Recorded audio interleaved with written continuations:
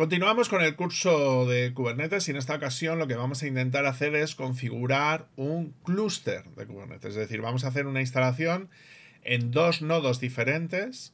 Uno lo vamos a dejar de control plane y otro lo vamos a dejar como worker, ¿vale? Entonces vamos a tener dos máquinas diferentes y eh, vamos a intentar hacer una instalación, una configuración básicas del sistema. Entonces, os voy a comentar un poquito por encima qué es lo que tenemos. Vamos a hacer aquí, vamos a bajarnos aquí, ¿vale? Y como veis lo que tenemos son estas dos máquinas de aquí, ¿vale? Como veis tengo una que sería control 1, ¿vale? Que sería el nodo de control. Y luego por el otro lado tengo el worker 1, que sería el nodo que yo quiero asignar como worker, ¿no? Si os dais cuenta aquí tenemos dos eh, configuraciones diferentes, ¿vale?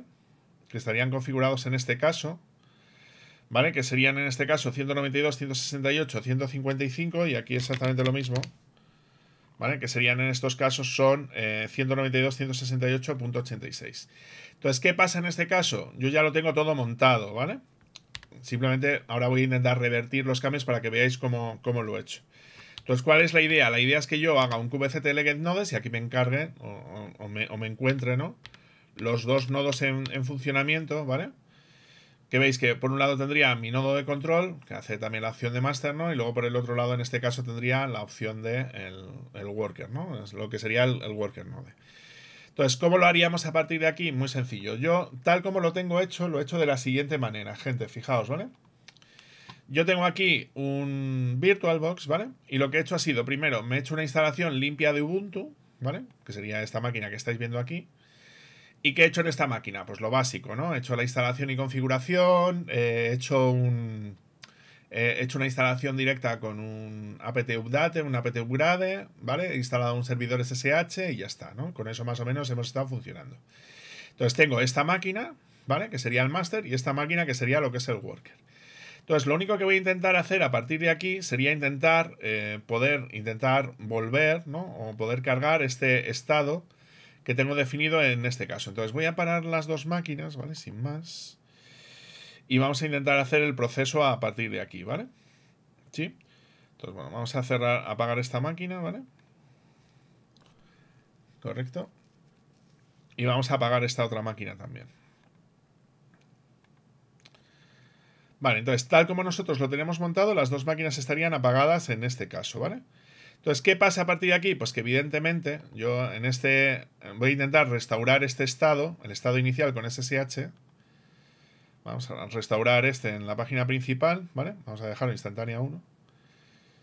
Que teóricamente debería estar con el estado inicial que estaba guardado en este caso. Simplemente vamos a arrancarlo, ¿vale?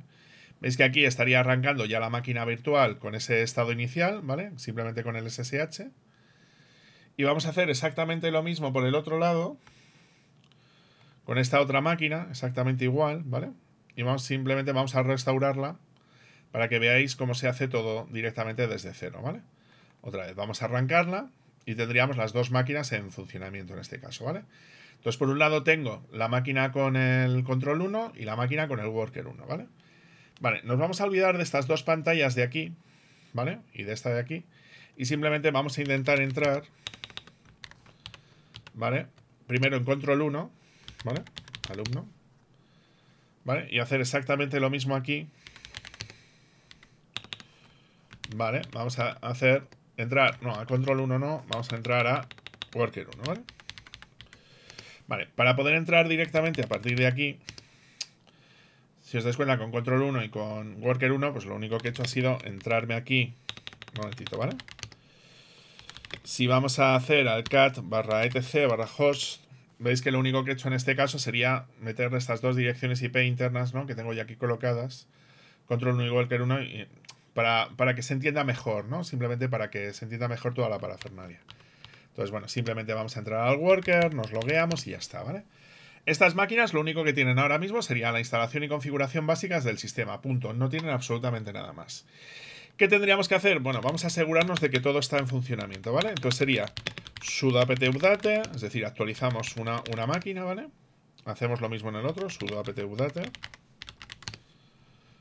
¿Vale? Le metemos aquí la contraseña, ¿vale?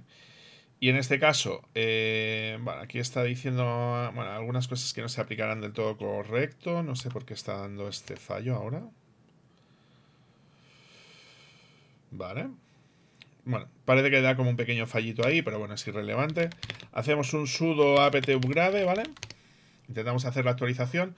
Veis que no aparece ninguna actualización pendiente y aquí vamos a hacer exactamente lo mismo, hacer apt upgrade. Y tiramos a partir de aquí, ¿vale? Entonces, os dais cuenta, los dos están actualizados, no hace falta actualizar nada más y con esto podemos ir tirando. ¿Cuál sería el siguiente paso? El siguiente paso que tenemos que hacer sería la instalación y configuración de curl, porque nosotros lo que queremos hacer es instalar K3S, que es, una es un sistema súper liviano, súper ligero de instalación de, Kubernetes que hace la gente de Rancher, ¿vale? Entonces, ¿qué hacemos a partir de aquí? Vamos a hacer la instalación de apt install "-y" de curl, ¿vale? Porque curl es el comando por defecto que nosotros necesitamos poder ejecutar para que se pueda descargar la parte de instalación y configuración de las herramientas de K3S, ¿vale? Esto evidentemente lo tenemos que hacer en ambas máquinas, ¿vale? sudo apt install "-y curl, ¿vale? Y a partir de aquí ya directamente ejecutaría la instalación y configuración de curl, ¿vale? Entonces ya tenemos instalado y configurado curl en ambas máquinas. Vale, para que nos entendamos bien voy a hacer un hostname, hostname eh, control 1, ¿vale? Como root, ¿vale? Sí, para que lo veáis bien aquí, salirme y volver a entrar. ¿Vale? Para que veáis que eh, estos son los, comandos que yo ejecuto en control 1 y hacer exactamente igual aquí. sudo hostname eh, worker 1, ¿vale? Y otra vez me salgo, vuelvo a entrar, ¿no? Y aquí directamente ya estamos en ambos worker 1, ¿vale? Entonces lo tendríamos ya instalado y configurado en ambas máquinas que tenemos establecidos como tal, ¿vale? ¿Cuál sería el siguiente paso? Vale, el siguiente paso que tenemos que hacer sería el proceso de instalación y de configuración de kubectl. Esto es recomendable hacerlo siempre en uno de los dos servidores, normalmente se suele hacer en el nodo de control o en el nodo desde, desde donde tú quieras realizar el proceso de instalación y de configuración de la herramienta, ¿vale? Entonces simplemente esto lo que nos instalaría sería el kubectl, como veis debería estar ya configurado si yo hago aquí tendría que estar... Eh, vale, aquí me ha dicho que cool orden no encontrada, raro. sudo apt install menos y cool, ¿vale? Alumno. Vale. Cool debería estar instalado. Vale, cool está instalado. Vale, y simplemente vamos a ejecutar el comando, ¿vale? Y ahí se supone que ya debería estar configurado y ya está, ¿vale? Sin más. Vale, entonces, teóricamente el SL-LA, ¿vale? El S-LA, ¿vale? Y aquí se supone que deberíamos de tener los comandos para poder funcionar y, todo lo demás, ¿no? Veis que aquí tenemos el comando kubectl y ya está. Lo suyo sería copiar este comando kubectl. Vamos a copiarlo, por ejemplo, eh, sudo copy kubectl. Vamos a meterlo, por ejemplo, en barra user local bin, por ejemplo, sería un buen sitio, ¿vale? Y vale, esto estaría copiado con privilegios de administrador, ¿vale? Vamos a ver si tenemos un cube, un ls-la a barra user local bin, ¿vale? ¿Vale? El problema es que no tenemos permisos de ejecución. Vamos a darnos permisos de ejecución, ¿vale? Vamos a decir lo que nuestro usuario y root deberían de ser capaces de poder ejecutarlo. Entonces vamos a hacer un sudo chown menos R, voy a ponerlo arriba para que lo veáis bien, menos R, bueno, vamos a poner aquí ppsan dos puntos root, ¿vale? De barra user local eh, bin kubectl, ¿vale? Vale, eh, ch1 root no le gusta, vale, ppsan, bueno, perdón, ppsan no, sería alumno dos puntos root, ¿vale? Vale, y ahí no se va a quejar. Ahora si hacemos ls-la de barra user local bin kubectl tendríamos teóricamente permisos. Vamos a modificar los permisos para darle permisos de ejecución. Vamos a hacer sudo chmod eh, más x, ¿no?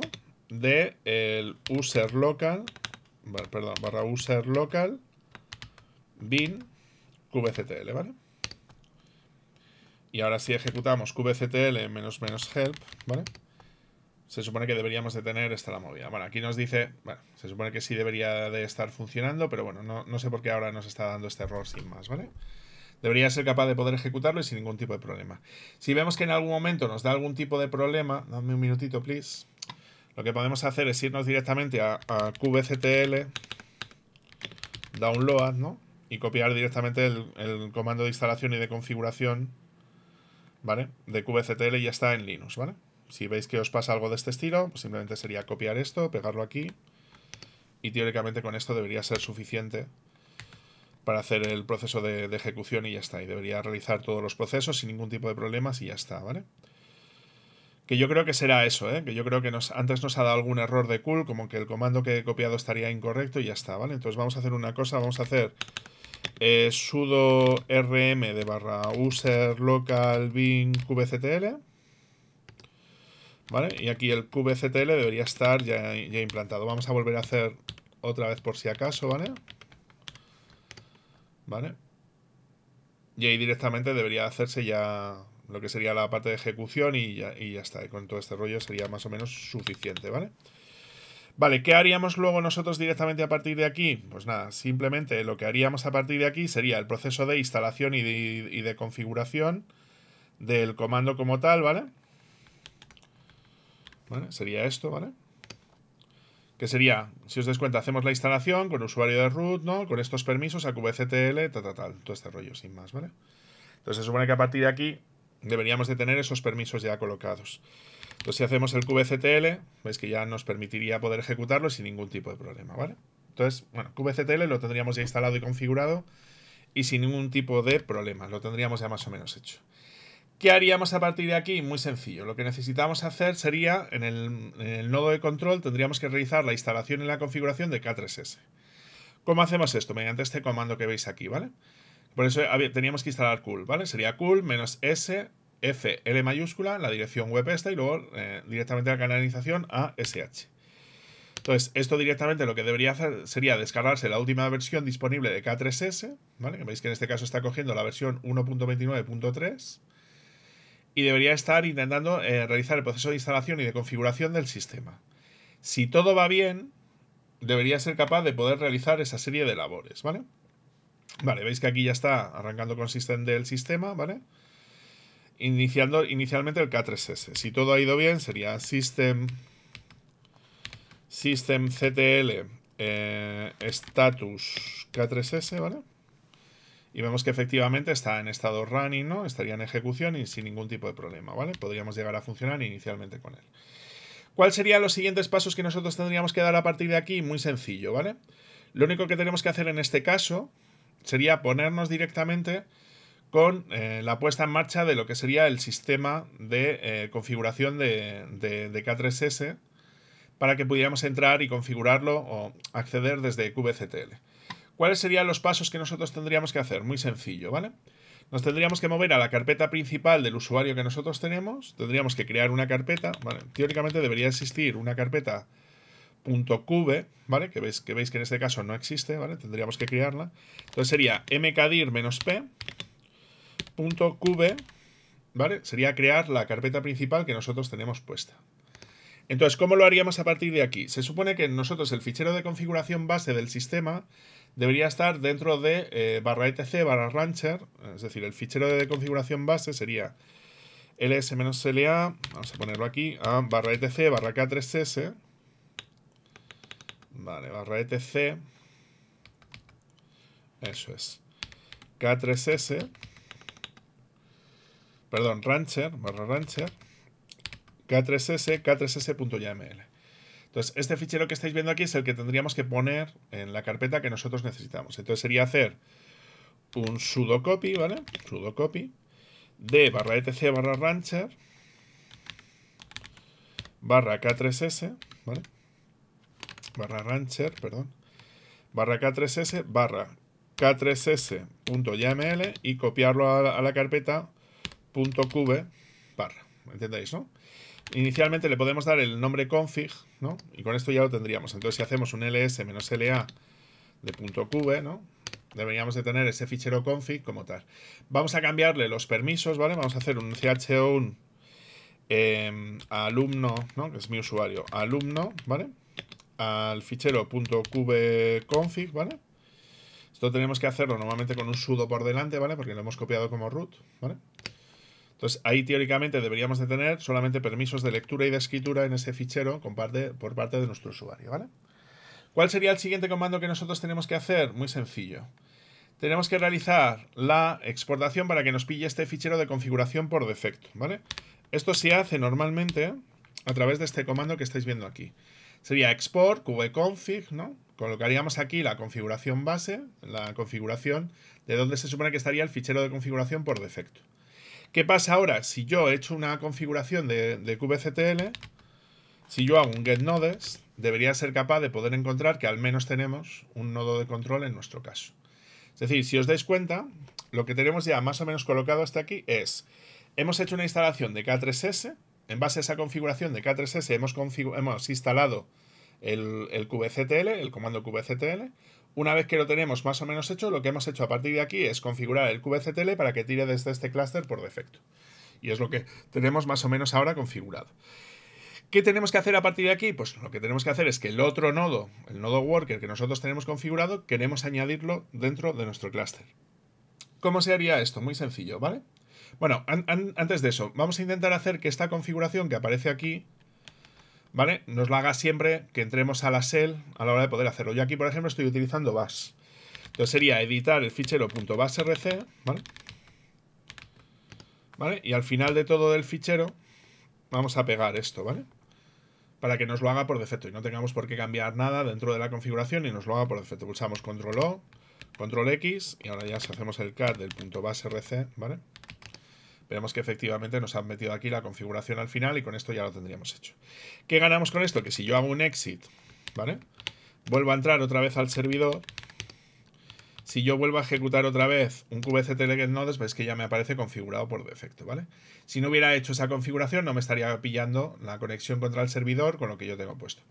¿Qué es lo que ha pasado? Pues que evidentemente en el kubectl, si hago el cal de la configuración, veis que aquí estarían todos los datos de conexión de un contexto llamado por defecto, por defecto default, que veis que tiene todos los certificados para poder entrar eh, pues eso, certificado de cliente, ¿no? O sea, todo lo necesario para poder entrar, ¿correcto?